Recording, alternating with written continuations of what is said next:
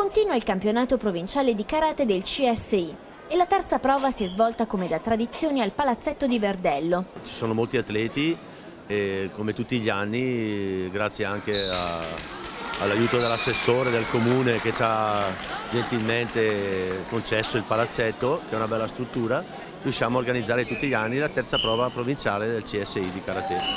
Il karate Verdello, sono 36 anni che esiste a Verdello, abbiamo più di 70-80 allievi siamo un paio di istruttori. È una gara molto importante perché dà la possibilità alle giovani generazioni di praticare questo sport, uno, uno sport che eh, non è solo agonismo, è molto importante che lo sport sia visto come educazione. Il bilancio della manifestazione parla di tantissimi atleti in gara. Sono 27 società presenti oggi, sono 360 i partecipanti e ho idea che eh, prossimi, le prossime due gare siccome vengono ospitate da società che hanno parecchi ragazzi, dovrebbero crescere anche i numeri. Prossima gara la facciamo a, mm, a febbraio, il 16 febbraio a Zogno, a cura del Busci Zogno. Terza prova è stata anche l'occasione per fare un viaggio attraverso le figure professionali che gravitano attorno agli atleti in gara.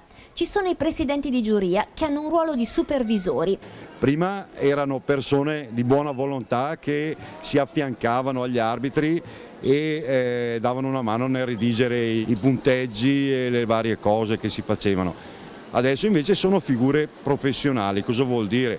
Fanno dei corsi imparano i regolamenti, imparano tutto quello che concerne il loro lavoro. Presente alle gare di karate anche uno staff sanitario che entra in pista in caso di malori o infortuni degli atleti.